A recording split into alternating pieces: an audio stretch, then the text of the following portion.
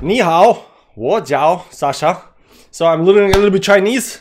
So we gotta start with the, the intro. Unfortunately, I was wrong about 100 bucks on Solana. As you've seen, we are right now at 122 dollars.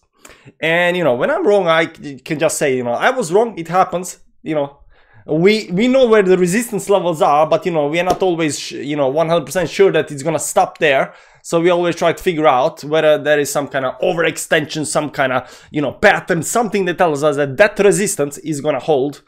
And as you can see up here, uh, when on the last video we talked about, you know, 100 level being the top, I thought it might be done because there was also this, uh, let me just uh, move this a little bit down. There was also this very nice channel going towards upside. We hit the, the top of the channel, we hit the 100 bucks. There was all kind of, you know, overextension stuff like that. Uh, you know, unfortunately for my video, we did not actually uh, stop there. We actually went to the next level of resistance that was 122. Now, two days ago in this series of Solana videos, uh, we actually talked about all of these three levels. There are actually three major levels on Solana that we have been watching.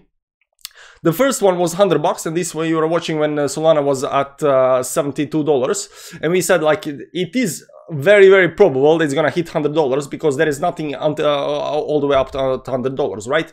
It hit 100 dollars on the dollar you can see up here it hit on the, the dollar 99.43 then it pulled back a little bit did zigzag consolidation up here at the resistance level and then broke that all the way up 122 dollars. And right now you can it, it, came close to 180 pulled back you know consolidated and then went all the way up 122 and right now it's pulling back. Uh, and you can see this 122.79 77 give or take. That was also the second resistance level that we have been watching. Now which one of these resistance levels are gonna get hit or not? Which one is gonna hold or not? Which one is gonna get broken or not. We do not actually know that.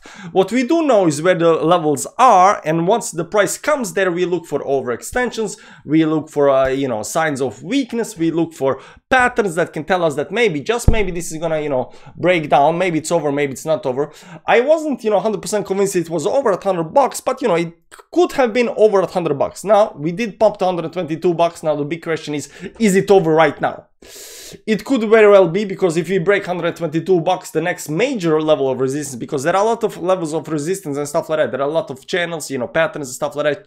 Uh, uh, you know, there, there, there, are resistances all over the place. But this is the monthly time frame, and you'll see up here at 100, 208 bucks. That's the previous stop up here. That's a major uh, level of resistance. So we had these three levels of resistance, and right now we are hitting the second one, right? So we broke the 100 bucks. We are right now at 122 bucks. The big question is, is it over now? so I don't want to start with the you know title of the video being yes it is over now for the second time. Uh, it might or might not be over and what we're gonna look at is this four hourly time frame and try to figure out whether this is gonna stop right now or not.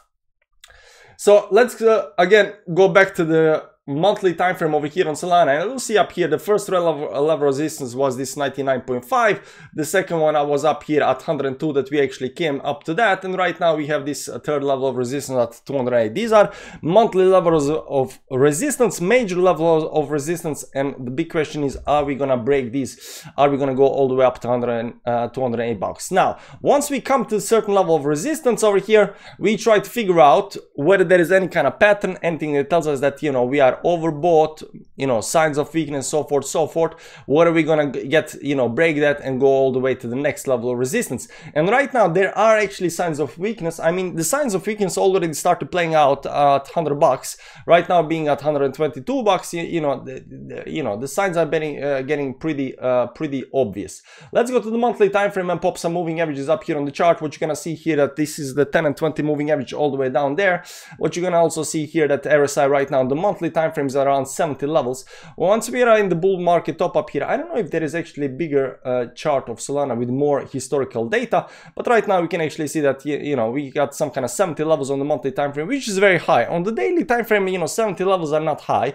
On the on the 4 hourly, 70 level, levels is nothing, but when you're on monthly time frame, you got 70 levels on the RSI, this rubber band indicator down here, that kind of tells us a little bit that, you know, maybe, just maybe we are getting into this over, uh, oversold, sorry, overbought uh, extensions up there. Also, you'll see down here on my own indicator that we are very, uh, you know, uh, overextended towards upside. So you'll see up here on this move over here, uh, this this just shows overextensions, which is actually a very nice in indication of some kind of very uh, toppy move. So you can see up here this uh, toppy move up here towards upside. Up here came up uh, all the way to something like 70% overextensions, and right now we are coming to the same levels up here. This again on the monthly time frame, so it could, could take a while to play out. So this stop up here it's not gonna go just right down. It could do that, but it's not gonna go just right down. And over here on the on, on the weekly time frame, we see this big move up here towards the, the level of resistance. We are creating this doji up here. We still got five days on the weekly time frame up here, but there is nothing right now that you know it is very very uh, no no no on the chart. Now indications right now on the uh, indicators down here, we don't have any kind of divergence on the RSI. We only got high levels on the RSI. Right now the high level on RSI is 87, which is not actually that. I mean, it's on the weekly time frame. It is very high level. 87 is very high level on the RSI. It's, it shows you some kind of overextensions, but nothing that you know it should be uh, taken as a, some kind of big worry. Now I did see before charts that are having these you know 90 levels for a prolonged period of time and price just keeps on pumping, right? It, it can definitely happen. So just because you are on the 90 levels on the side does not mean that you're uh, you need to go down and pull back. Especially bull markets, people often uh, underestimate the strength of the chart because they are still suffering through the post-traumatic stress syndrome, PTSD, and uh, of the bear market, right? Uh, in the bear market, every pump was getting wrecked right back down again. So people still believe that, you know, for whatever reason, it's going to just get wrecked down again. Uh, but, you know, good for us. It does not get wrecked. It just keeps on pumping, right? So you can see also here the momentum is still going towards downside, although it is kind of expanding up here towards the top. So we're at 90 levels. We are expanding towards the top. We are hitting the 122 level, which is actually a very major level over here right now. We are creating this doji up here. It's still five days left so you know it's just gonna you know uh, zigzag up here at the top before it actually goes down. Next week we do not know actually how that's gonna uh, play out but uh, it is kind of high it is kind of high. Now on the small time frames let's go to the daily time frame over here you'll see that we have a little bit pullback up here. We came up to something like, you know, uh, what's that on, on, the daily time frame, 85 levels. And these 85 levels on RSI are pretty high actually. Uh, so this is, but every time you hit these levels does not mean you gonna you have to pull back uh, or or dump down. You had a consolidation up here after this one. This one on 85 level, you had the consolidation up here at 87. Also, you had the consolidation over here. And right now we are again at 85 level. Are we just gonna get consolidation up here? That's a big question. Uh, but uh, you know, nothing is set in stone just yet, just yet. So we got a little bit more time to actually say that, okay, right now it's over. Now, there, there is a, a, a, saying that, you know, you know, it's not over until it breaks the trend. So you can have some kind of move that goes something like this up here. And as long as it's actually in the trend, everything is good and dandy. Unfortunately, it's only over when it actually breaks the trend. Now, by the time it actually breaks the trend, you know, this could be actually 20% down or something like that. So it's kind of too late. So, you know, we want to try to figure out when it's over here at these stops. Because by the time it actually breaks down, it does this move up here and does this and continues towards down. So you're already down like 50% be before you can actually get out. So, you know, the, the good thing is, you know, trying to, we try to find out uh, on the top of the channels, on the top of the moves, when is the top actually in. And uh, you'll see also on my indicator down here that uh, we are having some overextensions on the daily time frame as well. Now again, the overextensions does not mean it's going to dump. It means that, you know, consolidation is coming very, very soon. So up here, you know, we had these big moves towards upside up here uh, or tops and then we consolidate. Right now we are at these stops, right? So we are looking for consolidation. So only thing that I'm looking at right now is consolidation and uh, it's not over just yet. But again, like we said, by the time it actually gets over, it's pretty much, you know, it's too late because, you know, the over on this chart would be when it breaks the trend and the trend goes something like this over here all the way down here. So, you know, are we gonna wait until it actually is over down here? Because then by that point you're down something like you know 20 30 percent. From over here down here here is like 30 percent but from uh from uh, the very top up here all the way down you're down like 40 percent from the very top. So waiting until it's actually over or confirmation that it's over meaning that you know the trend actually broke you know you don't want to be that guy. You don't want to be that guy. You don't. Want, we don't want to wait for confirmation at all. We want to figure out where the top is before the confirmation kicks in. What it makes euphoria is when you're hitting major level resistance over extensions. We try to figure it out by some some pattern, something that you know it just might be over. Now this over here, what and right now we are on the daily time frame, so we're gonna look at uh, two two channels. Now again we got two levels of uh, major resistance. That's 99 bucks and 122, like we said. These are two major, and there is this channel over here that's uh, been uh, playing out very nicely. You can see this channel actually we broke towards upside up here when it came to 100 bucks. We broke them, went all the way to, towards the 100. So I would say that, uh, you know, it's already right now that the fact that we are hitting the second major level of resistance that we are having a little bit, you know, zigzag pattern over here or, or some kind of pull, pullback towards downside.